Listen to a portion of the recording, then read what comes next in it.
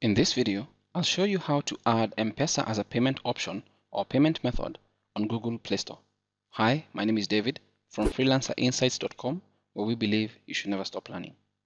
I have my Android phone on and all I need to do is just click on Play Store. And once I click on Play Store, you just need to go to the three lines to the top left. Click on that. And the next thing that you need to do is click on Payment Methods.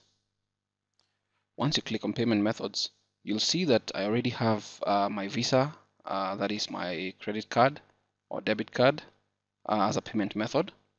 But there is also uh, the option to add payment method. We have uh, use M-Pesa Express Billing, which is uh, something that is used on Google Play Store here in Kenya to buy applications.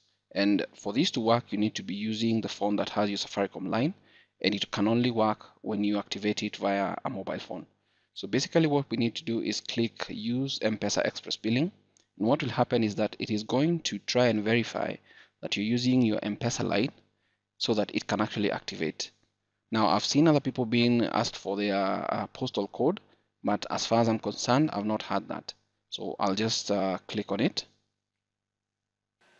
It's verifying account, sending account verification text, and there we have it.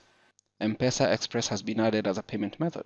So basically that's how easy it is to add M-Pesa Express Billing uh, as a payment method on Google Play Store.